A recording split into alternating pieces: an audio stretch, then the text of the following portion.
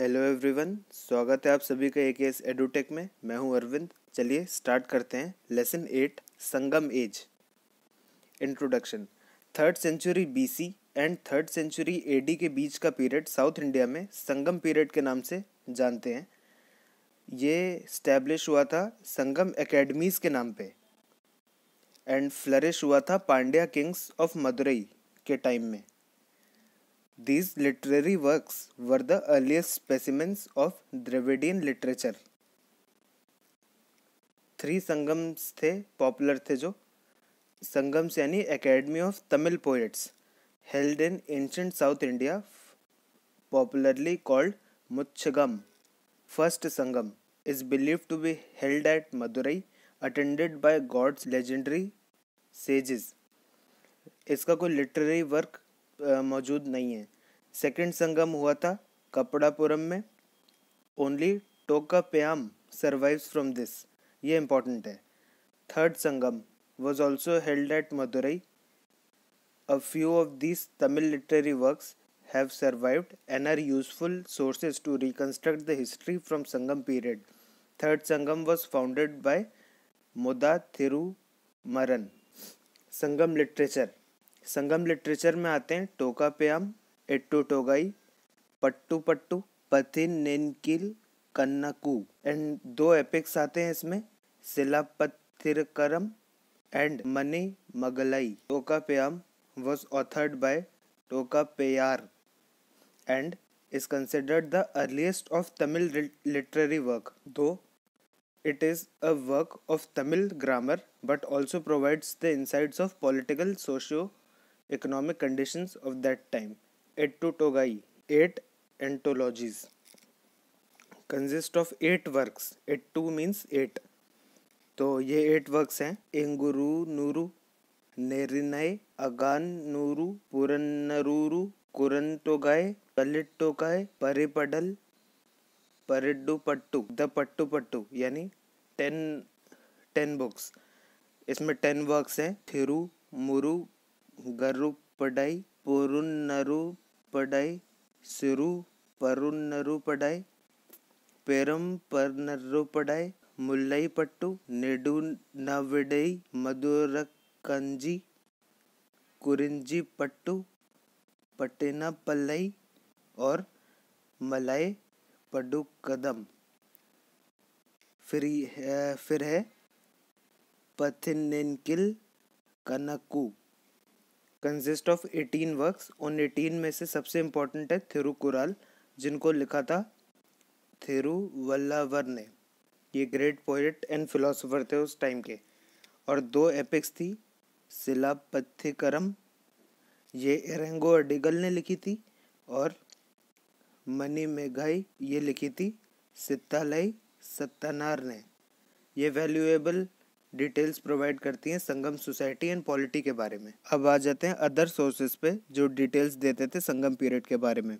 The Greek authors like Megasthenes Strabo, Pliny and Ptolemy. mentioning about commercial trade between west and south india ashokan inscriptions, Chola Chera Pandya के बारे में mention करते थे as rulers to the south of modern empire Hathigumpha inscription of Kharavela of Kalinga also has mention of Tamil kingdoms. Political history of Sangam period ये देख लेते हैं south India में संगम पीरियड के टाइम पे तीन डायनेस्टीज पावर में रही, जिनमें थी चेरास चोलास पांड्यास और दोस्तों, ध्यान रखना है यहाँ पे इम्पीरियल चोला की नहीं संगम चोला की बात हो रही है।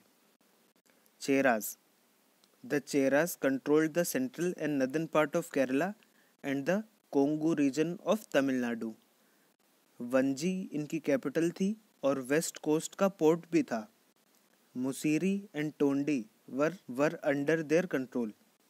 The emblem of Cheras was bow an arrow Pugalur inscription, जो वन सेंचुरी एडी का है, ये बात करता है चेरा रूलर्स की अदर थ्री जनरेशन्स का।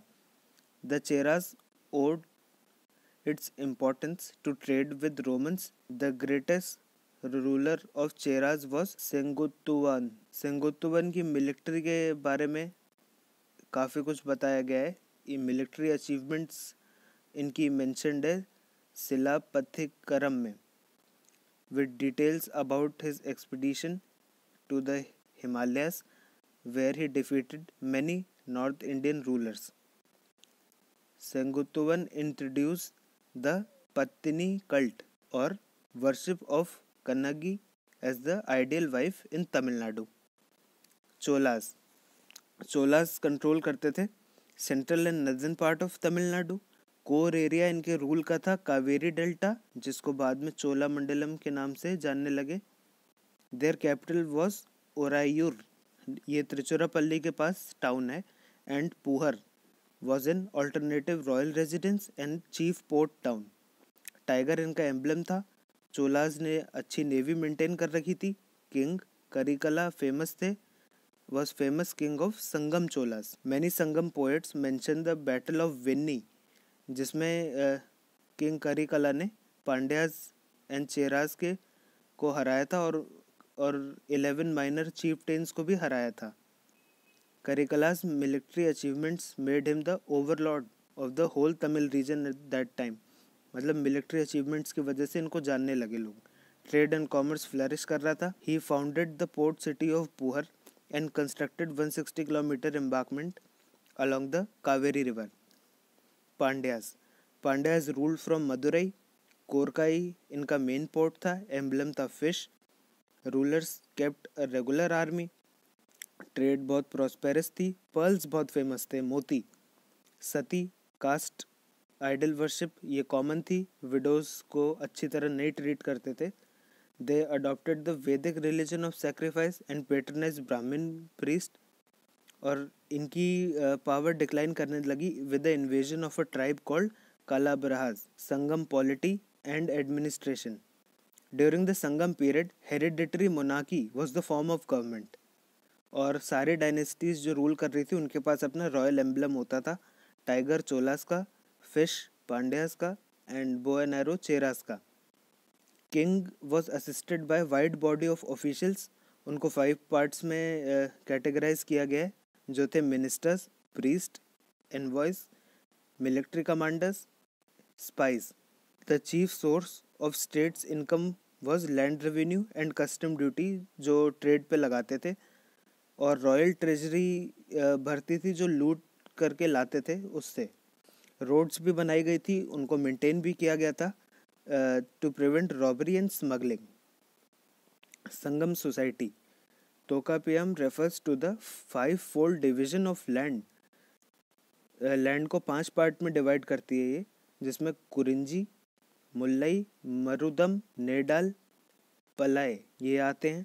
Tolkappiyam also refers to four caste namely Arasar, Anthanar, Vanigar Vellalar, जिसमें ये रूलिंग क्लास और ये अंतरार और वनिगार ट्रेड एंड कॉमर्स करने वाले Vellalar agriculturalist ancient primitive tribes like Todas Irulas Nagas and Vedars lived in this period religion की बात करते हैं। The primary deity of Sangam period was Murugan who is hailed as Tamil god Murugan की worship के बारे में माना जाता है कि एंशंट टाइम से चली आ रही है और उनके फेस्टिवल्स जो गॉड मुरुगन के लिए होते हैं, वो मैंशनड हैं संगम लिटरेचर में। Murugan was honoured with six abodes known as Arupadai Veedu the hero stone और Nadukal worship was significant in the Sangam period and was erected in memory of bravery shown by the warriors in the battle. Position of women during Sangam age.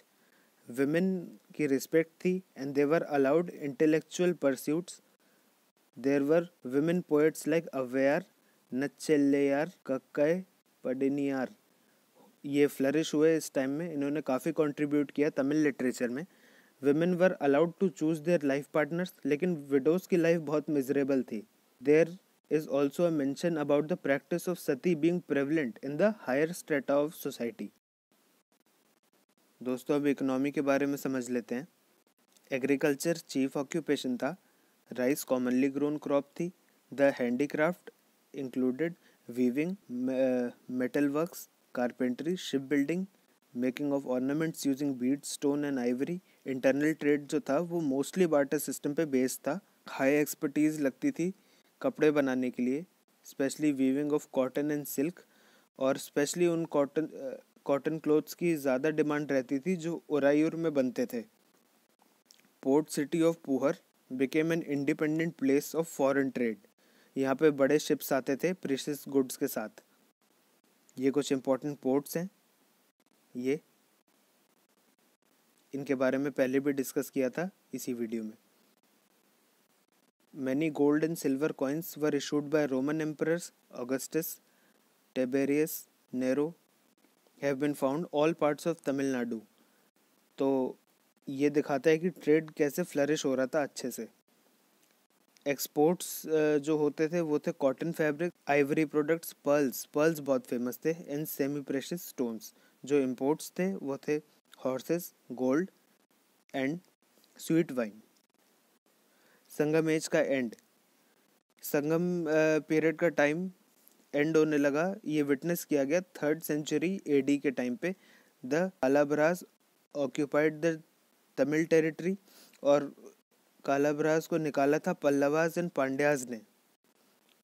इन्होंने इसको बाहर निकाला था Tamil reason से और अपना rule establish किया था।